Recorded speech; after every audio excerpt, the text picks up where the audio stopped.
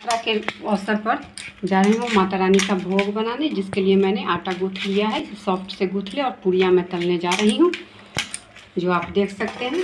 इधर मैंने लोई कर लिया, इसे आप रिफाइन लगा करके इस तरह से रिफाइन लगा लें और इसे छोटी छोटी पूड़ियाँ बेल लें। इस तरह से आप देख सकते हैं।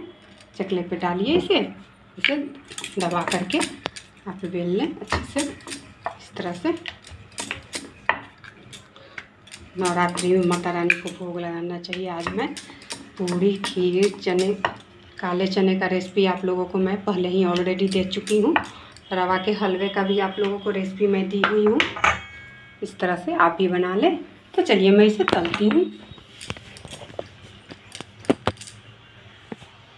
आप देख सकते हैं, यहाँ तेल गर्म हो चुका है। आप चाहें तो इसे थोड़ा सा आटा डाल करके चेक भी कर सकते हैं। इस तरह से आप देख सकते हैं। बिल्कुल अच्छे से निकलने लगे। इसका मतलब है कि तेल मेरा अच्छे से गर्म हो चुका है। इसी प्रोसेस से आप सारी पूड़ियों को बेल लेंगे।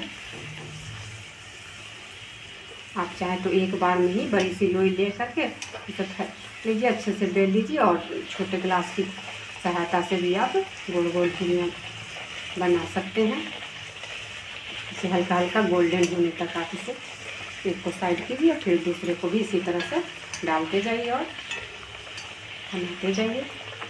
यह ध्यान रखिए कि तेज़ फ्लेम होनी चाहिए, जिससे पूरियाँ अच्छे से फूले।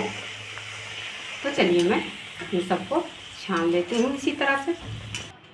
लीजिए, तैयार है माता रानी को भोग लगाने के लिए। आप लोग भी इसी तरह थाली को सजा करके अच्छे से भोग लगाए और माता रानी को खुश करें। थैंक यू धन्यवाद हैप्पी नवरात्रा है